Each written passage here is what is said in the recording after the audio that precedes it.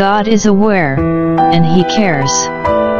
Our morning message that your Heavenly Father constantly and compassionately cares, based on Psalm 103:13.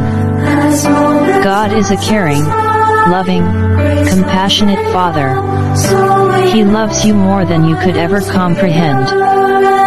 God is love, and He made you to love you. He is loving toward you in everything that He does.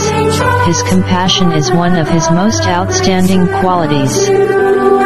The Bible says in Psalm 103:13, As a father has compassion on his children, so the Lord has compassion on those who fear Him. He cares about everything in your life, compassionately. Most of Jesus' disciples were professional fishermen.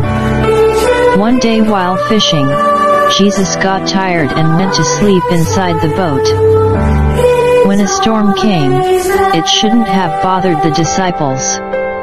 As fishermen, they were used to storms. But this must have been a big one, because they got scared. The ship was rocking and rolling, water was coming into the boat.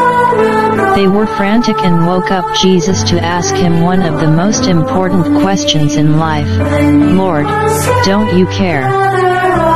You and I ask God that question all the time and in a thousand ways. God, did you see that doctor's report? Don't you care? Do you see what a mess my family is in? Don't you care? Do you see how we are struggling in school?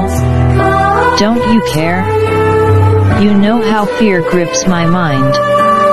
Don't you care? The answer is this. Yes, God cares.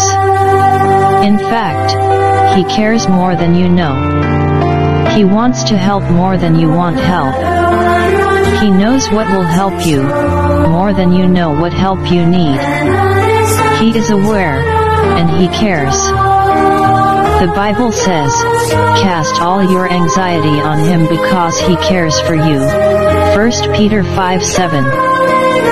If you knew and felt how much your Heavenly Father constantly and compassionately cares, you couldn't help but love Him back. Take the first step toward inner peace today, and cast all your anxiety on your compassionate Heavenly Father. I am truly glad you spent time to view this message. I hope you are blessed and share this with somebody else. Thank you, and have a great day everyone.